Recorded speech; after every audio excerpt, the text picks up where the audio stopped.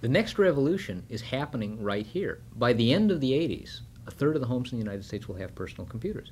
And what they'll be doing with them is using them as personal educational tools and as transaction terminals for shopping and learning and buying and educating themselves at home.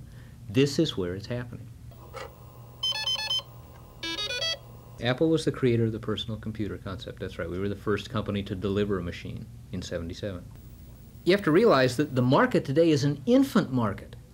There's only 2 million personal computers on the entire planet compared to millions and tens of millions of people. Last year in the United States alone, there were 9, 10 million automobiles sold. There were 600,000 housing starts. Compared to that, the number of personal computers out there is infinitesimal.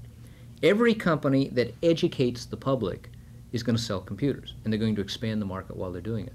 The competition for Apple is not IBM, and it's not Radio Shack, and it's not Atari. The competition for Apple is this. That's what people use.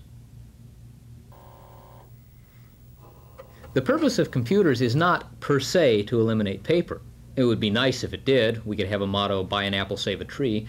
But that's not the prime purpose of the computer. The prime purpose of the computer is to extend your mind the way a hammer or a saw or a pistol extends your hand, to give you the power to do things intellectually in the way of bringing in information and understanding it that you couldn't do before. It's nice if that saves paper, but that's not the primary purpose.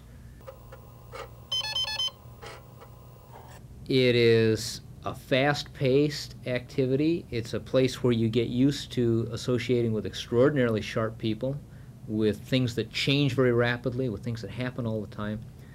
It's a place where you take technical competence for granted. You take a fairly high level of education for granted because that's what's all around you. You take, uh, in some, to some extent, having the best of things around for granted. Uh, I wouldn't live anywhere else, I don't think.